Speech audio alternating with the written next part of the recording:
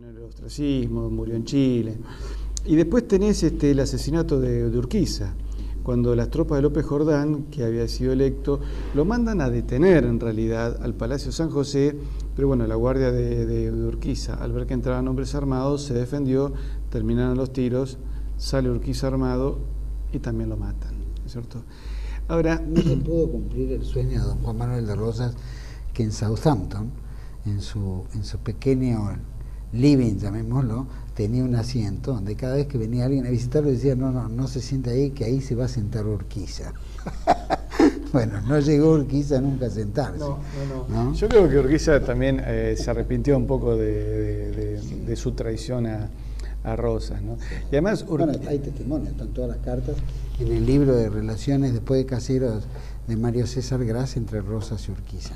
Es muy interesante ahí, ahí está, figura todo. Urquiza también tuvo un crimen anterior, ¿no es cierto?, que es la muerte de Martiniano Chilabert. Mm. Martiniano Chilabert fue un verdadero héroe de, nuestro país, que había sido unitario, pero ya en vuelta obligado se da cuenta que el patriotismo pasaba por Rosas y se ofrece como artillero para el ejército de Rosas.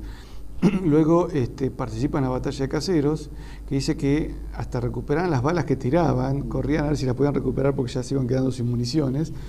Y cuando termina ya la batalla, ya se quedan sin municiones, quedan rodeados, prende un cigarrillo junto a un cañón y se queda esperando. Sí, se quedó esperando justamente una charla que eran esos cigarrillos armados, esperando ser detenido. Y Urquiza, que le tenía inquina a Chilaver y a la familia de, de Chilaver, decide su fusilamiento. Que es una situación muy desagradable porque lo quieren fusilar por la espalda, él se niega, lo lastiman con bayonetas hasta que lo matan. En la batalla de Caseros, como nos pasa a muchas de las familias viejas como, como la tuya y la mía, yo tuve antepasados en los dos bandos. Y mi tatarabuelo, eh, el doctor Lorenzo Lons, que era el que manejaba la única ambulancia médica de toda la batalla, mm. él venía con la columna oriental del general César Díaz, la columna unitaria. Yo soy federal por mi madre, pero había, había unitarios en la parte de mi padre. Sin embargo, lo atiende a Chilaver antes del fusilamiento, que le entrega objetos personales para la familia. ¿Cierto? Ese es un recuerdo que, tuvimos de, de Chilaver y siempre dijimos, bueno, eso lavaba un poco la sangre unitaria de la familia. no sé si, está, si es cierto, de que Urquiza lo manda a fusilar en, el, fondo por un problema de pollera, por un problema de celos. Era muy común. bueno, Urquiza, era notorio, ¿no? más de 100 hijos, hay no sé cuántos descendientes bastardos.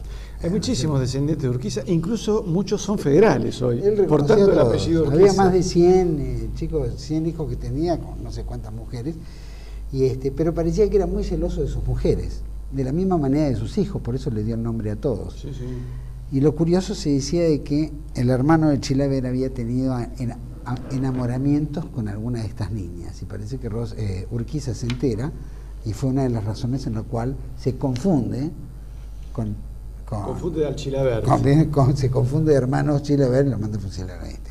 Esa es una de las tantas historias que se cuentan.